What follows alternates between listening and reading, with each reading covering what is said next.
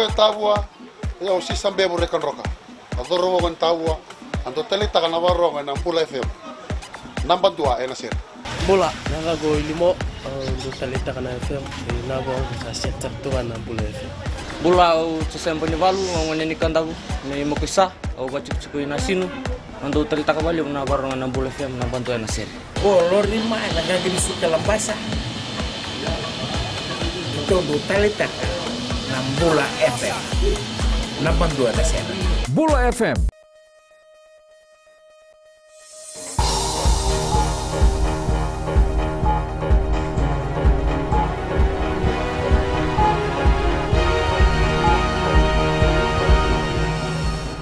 Good evening, this is FBC News. I'm Akosita Tale.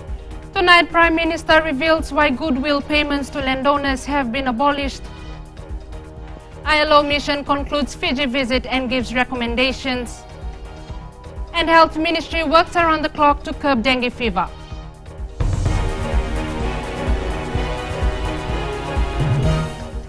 Details have emerged about why the Fisheries Ministry has abolished goodwill payments to landowners. Prime Minister Voreqe Bainimarama has explained that the money charged hasn't been shared equally. Ritika Pratap reports. The Fisheries Ministry has documented reports of individuals who have customary fishing rights abusing their position. They've been charging goodwill payment before giving consent to fishermen who wish to commercially fish in their waters. In most cases, most of the members from the land owning, land owning unit that have customary fishing rights see little of these payments. If any, either, uh, either one chief pockets it or a handful of individuals. At the same time, the fisherman has to pay, uh, instead of one fee, instead of one fee, they have to pay two or three fees. Bainimarama says Section 30 of the Constitution gives all landowners the right to share in the royalties paid to extract minerals beneath their land or sea. The Prime Minister says when this legislation is adopted in the near future, all royalties will be distributed equally. The law recognizes traditional fishing rights and requires people who wish to engage in commercial fishing in those waters to pay a fee through the Ministry of Fisheries. It does not give certain individuals the right to turn an honest, hard-working man upside down and shake the money out of his pocket for his own personal gain.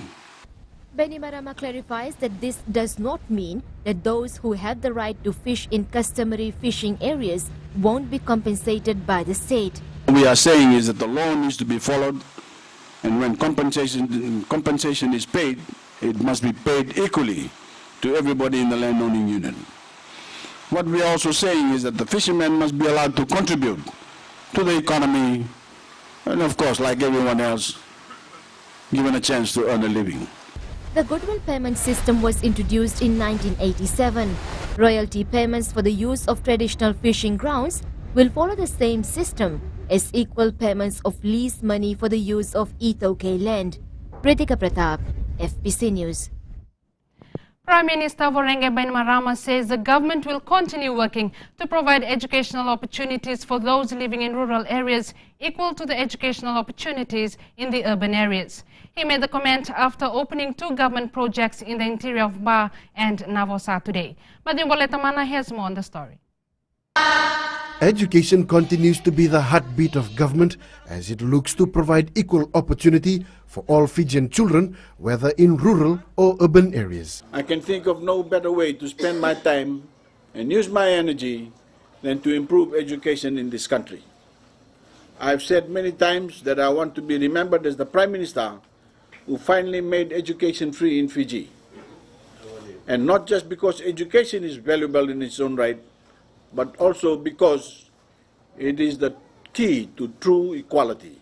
The Prime Minister today commissioned three teachers' quarters in Sivikoso in the middle of Vitilevu, as well as a bridge constructed by the RFMF engineers, water tanks, and an electrification project in Bukuya village. He says this is all in the hope of providing a platform for the children of these villages to harness their learning. I made a special commitment to this improvement, which cost a total of $170,000. all funded by my office under the 20, 2014 Small Grant Scheme project. When we have better facilities for students, we make it easier for them to learn. And when we have proper facilities for teachers, we make it easier for them to teach. Bainimarama also concedes that while the state is bidding to promote education, there are a number of teething issues that need to be dealt with to ensure the program prospers. It is a shame that some civil servants in the Ministry of Education fail to ensure that our children receive their textbooks from day one of the new term in the new year. This is a serious matter. The minister has been informed. First, it is not it not only deprives children of the books they need, but it infringes on their constitutional right. Second, it undermines the people's faith in the, in the institution that is charged with guaranteeing that right. The Prime Minister continues with his tour of the Western Division tomorrow and will carry on next week. Madhyum Balitamana, FBC News. Prime Minister Voreqe Bainimarama has directed the Fiji Roads Authority to fix and build roads in priority areas first. Speaking at a Talanoa session in Nadi last night, Bainimarama said he's seen companies contracted by the FRA digging good portions of road in towns and cities to patch potholes. He says these are not priority roads and can be done in years to come, but rural areas need more attention as it affects children's education.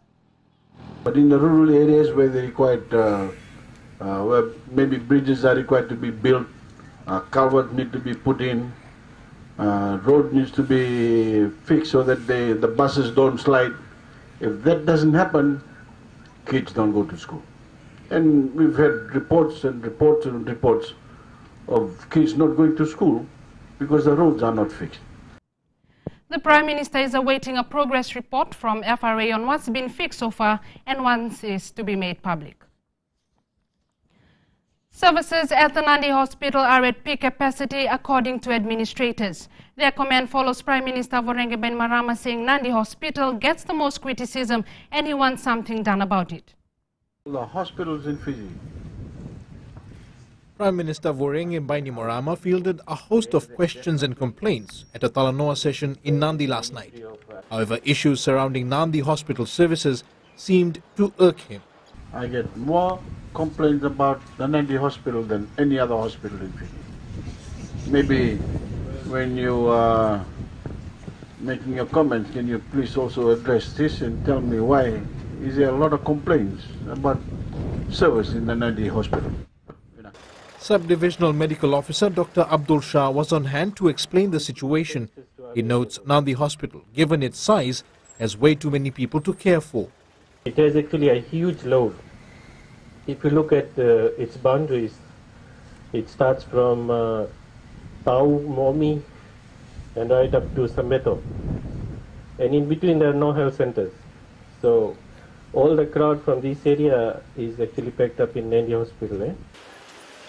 The stretch between Momi and Sambeto in Nandi is about 36 kilometers long and includes all surrounding communities and settlements there is at least one health center likely to come online this year to help decentralize medical services from the Nandi hospital. Dr. Shah says there is also a proposal for a public-private partnership in Korovuto which could be available within the year. However, it needs to be expedited by the Health Ministry, finalizing the agreement, land acquisition and other related issues. Until then, Nandi Hospital must cope with the load. Edwin Nand, FBC News. The International Labour Organization Tripartite Mission to Fiji has concluded that there is room for the parties to agree and ensure compliance with the ILO standards on freedom of association. This is part of the mission's initial report, having held four days of discussions with the government, the unions, and employer representatives. Maggie Boyle tells us more. The three-member ILO tripartite mission has this afternoon wrapped up its visit, having met with tripartite partners all week. In a statement this afternoon, the ILO team reports that it has been able to ascertain a full view of the obstacles to the submission of a joint implementation report by the Government of Fiji, the Fiji Commerce and Employers Federation, and the Fiji Trades Union Congress. In accordance with the tripartite agreement that they signed in March 2015. The statement goes on to say that there is significant room for the parties to achieve consensus around the steps that need to be taken to remove any remaining obstacles and ensure compliance with the ILO standards on freedom of association. The mission says it's encouraged by the steps taken thus far and has invited the parties to pursue these efforts in good faith towards their full completion before the ILO governing body meeting in March this year. The tripartite mission is a first step by the ILO to evaluate the situation in Fiji after the parties failed to agree on labour law reforms, with the question of whether or not a commission of inquiry should be called. Most parties from the government, employers, and the union who've spoken about the discussions say that the visit has been fruitful and they've been able to put their case forward. Maggie Boyle, FBC News. Still to come, Lau villagers plead for assistance to rebuild their houses damaged by Cyclone Ula.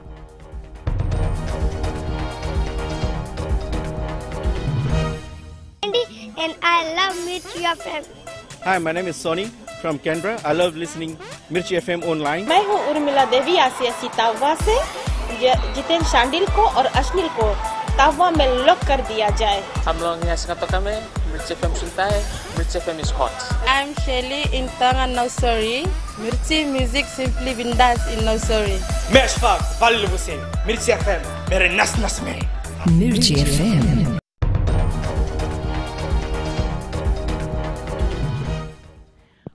Welcome back. This is FBC News. An effort to curb the rising number of dengue cases is on the Health Ministry, Ministry's priority list, says the National Advisor for Communicable Diseases, Dr. Mike Kama. So far this year, there are 85 lab-confirmed cases of dengue. Farzana Nisha has more. The National Advisor for Communicable Diseases, Dr. Mike Kama, says a surge in dengue cases is a worry for the ministry. It becomes an urgent agenda eh? every time dengue, you know, the dengue issue comes up, or leptospirosis or typhoid. These are priority communicable disease in the ministry. Uh, so the ministry is already responding, eh, as I had mentioned in previous interviews, eh, uh, responding in the north and responding now in the west eh, uh, to, to, the situation on the ground. Eh. So we are hoping that it will be resolved uh, uh, sooner eh, rather than later with, with our officers who are there in the field. The dengue symptoms in adults include high fever, severe headache, pain behind the eyes, muscle and joint pains, nausea and vomiting. Dr. Kama says they have not registered any deaths so far, which they want to avoid. The mosquito doesn't differentiate between people, eh? it will feed on blood. Eh? So, because that is the uh, vector for transmission of the disease, eh? the mosquitoes. So, yeah, so this is what we expect as the, um, they call it the epidemiological picture uh, of the disease uh, as it moves along. Dr. Kama adds the situation with dengue right now is more endemic rather than an epidemic outbreak. People have been advised to keep their surroundings clean and destroy mosquito breeding places. Farzana Nisha, FBC News. A document which aims to strengthen the defense and security of Fiji underwent final consultations in Suva today. The National Security Strategic 2016 was discussed with relevant stakeholders. It embodies the government's vision for a safer, secure and prosperous Fiji. Ellen Stolz reports. The National Security Strategy will be the first for Fiji and replaces the white papers other countries have. Minister for Defense and National Security Timothy Natuva says once completed, the strategy will link the police, immigration and intelligence agencies. We need to redouble our efforts to keep Fiji safe, to bolster the security of our people, the security of our sovereign nation, and the security of our resources. Fiji is determined not to be to become an easy target. The completion of this strategy will advocate a multi-agency, multidisciplinary approach to Fiji's defense challenges. Ambassador Teleni chairs the council carrying out this review, which began last year. I want to remind you it is still a draft and it is still evolving, which means whatever comes out today in our discussion it will be again considered in finalizing the draft. The document includes areas like improving border security, territorial integrity, strengthening public order, safety, and civil defense. The Defense Minister and Ambassador Teleni agree that the document needs to be reviewed every few years in order to ensure the safety of all Fijians today and for generations to come. Ellen Stalls, FBC News. Two families on Vatoa Island in the southern Lau are pleading for assistance to rebuild their houses. The two houses were badly damaged during tropical cyclone Ula earlier this month. Ali Kimbia has more. Vatoa Island in the southern Lau group felt the full brunt of tropical cyclone Ula. Out of the 10 houses that were affected, two were badly damaged and the occupants are seeking for assistance to rebuild. I really don't know what else to do. I am 73 years old now and I don't have any money to rebuild my house. But I am hoping that the government will assist me because I don't have anywhere else to go. Father of two, Mabua Dhati says his family was lucky enough to escape death when their corrugated iron house blew away. That is hoping that assistance will be provided for them to restore all they lost during tropical cyclone Ula. I'm hoping and asking for government to help us to build my house. All I'm uh, thinking of is my family. NDMO Director Akapusi Tuifagalele told FBC News that plans are currently underway to assist families who were affected. They have already compiled the report, it's already been sent to us. We are, we are collating that report in regards to the, the council meeting that we have had last week. Uh, with that, um, we are intending to uh, uh, push the paper across to cabinet uh, sometimes early next week. NDMO confirms that the assessment report has revealed that three islands who were badly affected were Onoilau, Vatoa and Ogea. Ali Kimbia, FBC News. Parliamentarians have been told to be more aware and equip themselves with skills and information related to gender equality and empowerment. This was highlighted by Minister for Women Rosy Akbar at the opening of the first gender policy dialogue for MPs in Sigatoka today. The three-day forum will ensure that parliamentarians have a better understanding to identify practical measures and strategies to address the impact that gender equality has on development. Akbar stressed the importance of the national gender policy to be part of the government's actions and priorities. All ministries have been told to make firm commitments and take positive actions to achieve gender equality and eliminate violence against women and girls. We have it in front of us an opportunity to make real change in Fiji. When future generations look back on these efforts, we can tell them that we chose the right side of history. We chose the side of equality, the side of peace, the side of unity. We can tell them that we fought to give the women of Fiji an equal shot in life. Over the next two days, the forum will allow MPs to look at the links between gender inequality and violence against women and examine how this will affect the country's development as well. The Fiji Performing Rights Association Music Awards will be held on the 14th of May at the Grand Pacific Hotel in Suva. This was confirmed following the awards launch in Suva this morning. FPRA publicist Lide Movono Rova says the awards will be an exciting event for music in Fiji. This year, the awards will have 14 categories. A new one has been added, and this will be announced soon. Tickets will sell for $150, and nominations for categories are now open till Friday, the 4th of March. And sports now, here's Charlie. Good evening. In sports, after the break, the build-up to the Wellington Sevens continues. And Suva withdraws from the Bulotha Volleyball Championships. Details coming up.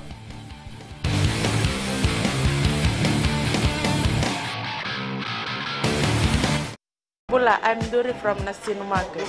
My choice is simple, Gold FM. Only the classic hits. My name is Yvonne. I'm from Nandi. I love Gold FM, only the classic hits. Sayandra, my name is Sunny. Only the Gold FM at Golden Point Resort, Raki Raki. Hi, I'm Anna of Nasinu. When it comes to a radio, my choice is always Gold FM. Only the classic hits. My name is Anna and I'm from uh, Nandi. I love listening to Gold FM. Gold FM, only the classic hits. Gold FM, only the classic hits.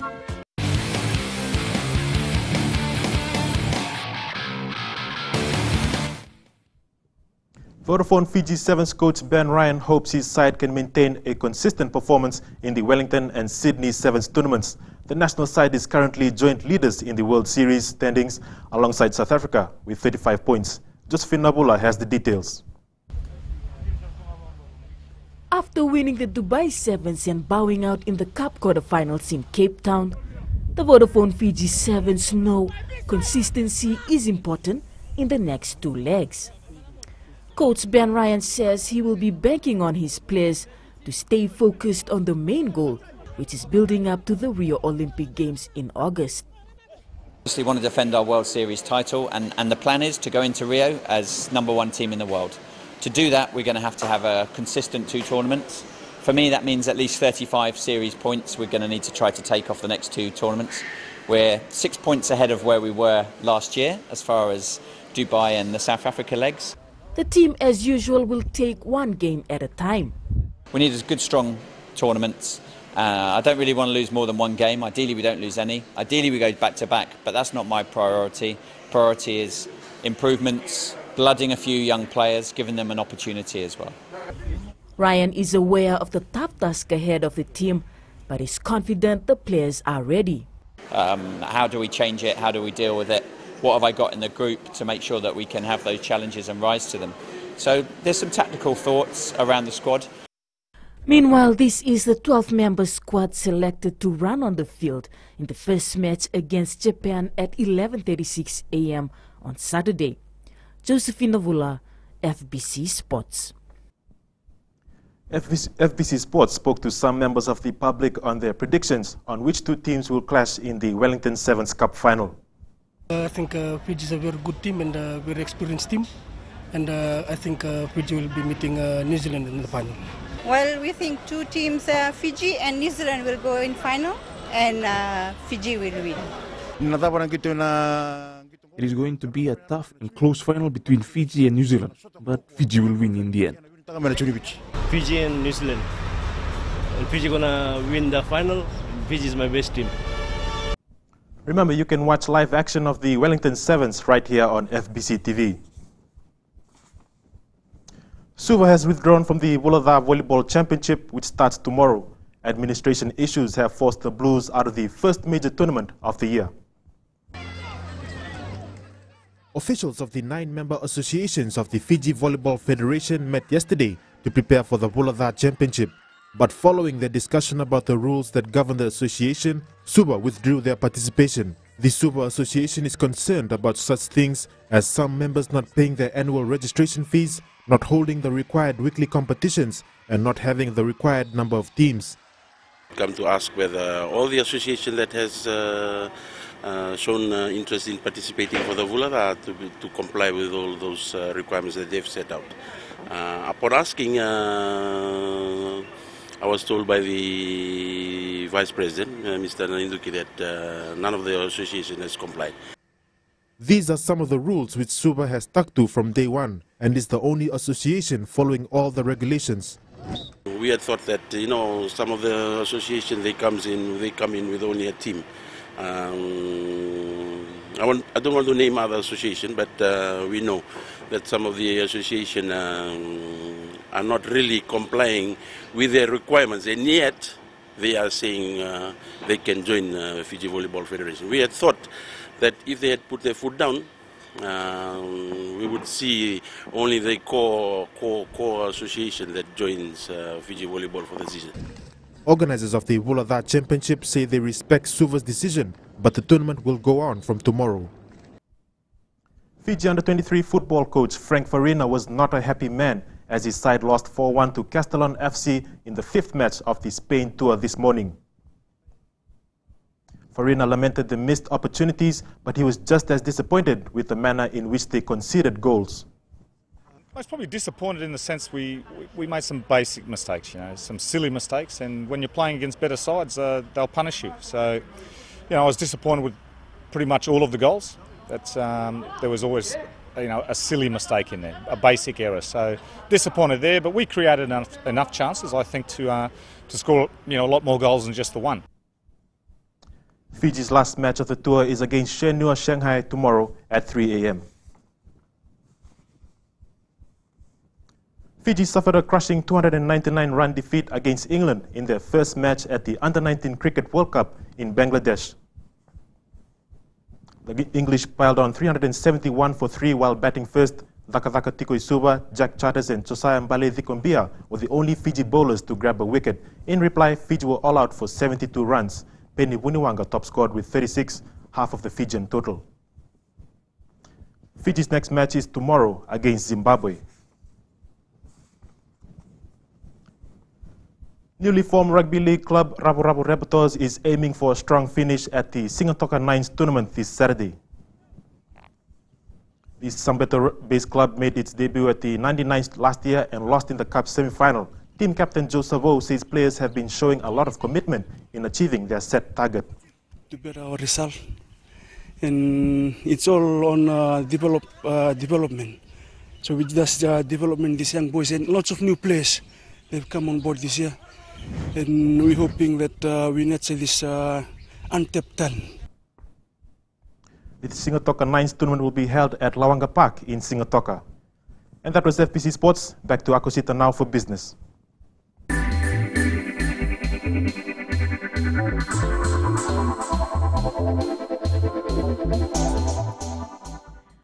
The first four locally made feature film titled Unlimited Tamasha was launched last night at Damodar City Cinemas in Laucala Bay in Suva. Attorney General Aiyaz Sayed-Khaiyum officiated the event along with cast and crew.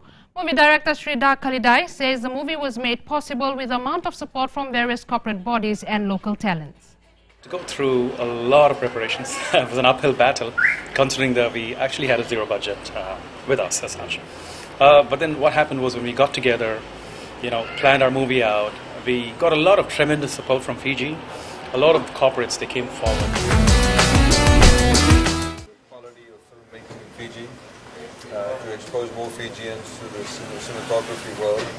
But it also gives us an opportunity, as we said yesterday, in giving out the rebate that was given to the Chinese movie production, an opportunity to showcase Fiji uh, to the rest of the world. And we're hoping, obviously, that uh, this movie will be shown in uh, numerous other countries.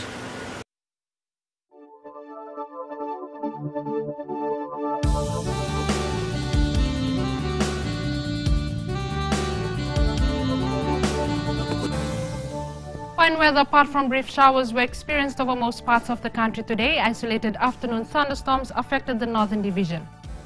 It was yet another hot and humid day around the country with all centers recording over the 30 mark. Lambasa was again the hottest on 34 degrees while Ba and Lautoka were on 33 and Suvanandi and Savu Savu were on 32. Cloudy periods with some showers of Loma Iviti and Southern Lau Group, brief showers of the interior and eastern parts of the larger islands. Isolated afternoon or evening thunderstorms expected elsewhere, mainly fine. An outlook for Saturday, if so, brief showers of the eastern parts and interior of the larger islands, afternoon or evening showers and thunderstorm elsewhere. And recapping the main stories, Prime Minister has revealed reasons why goodwill payments to landowners have been abolished. ILO mission concludes Fiji visit and gives recommendations. And Wellington Sevens fever grips players and fans in New Zealand and in Fiji. And on to this week's poll question, we are asking, do you agree with Semi Kunatani's inclusion in the Fiji Sevens team? Visit our FBC website to take part. And remember, you can send us newsworthy pictures and videos on email citizensize at fbc.com.fj or share it with us via our Facebook page, FBC News, or if you're on Twitter, follow and tweet us your news tips at FBC News or simply hashtag FBC News. You've been watching FBC News. I'm Akosita Tale. Good night.